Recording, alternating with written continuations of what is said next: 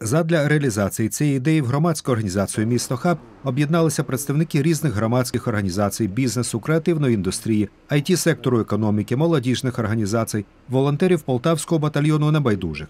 Власне, саме приміщення надає Православна церква України, яка є партнером цієї ідеї. За словами архієпископа Полтавського і Кременчуцького Федора, це не релігійний, а світський проєкт.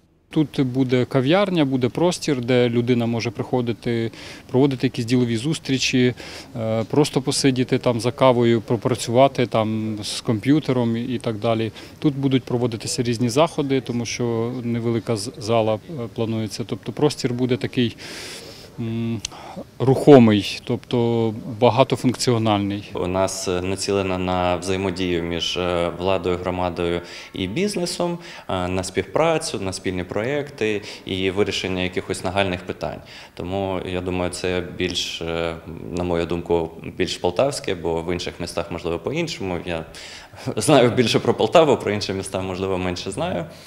Знаю також, що в інших містах це працює, тому я впевнений, що у нас також воно запрацює, е, бо вже є е, активні люди, які готові долучитися, інвестувати, і з часом їх буде більше. Просто треба більше розповідати про е, те, що ми створюємо.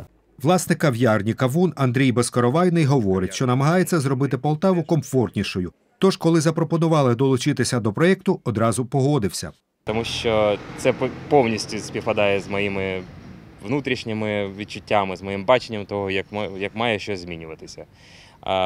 Я цілком ві- вірю, що через бізнес, через підтримку цього, цього проєкту може, може змінюватися і місто.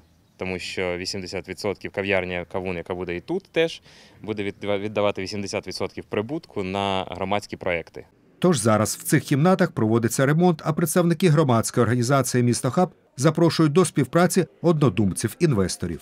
Ми зараз маємо вже приміщення, в якому можемо створювати хаб, е, тільки не вистачає залучення ще більшого кола однодумців е, для того, щоб вони інвестували в нашу ідею свої гроші, стали співзасновниками.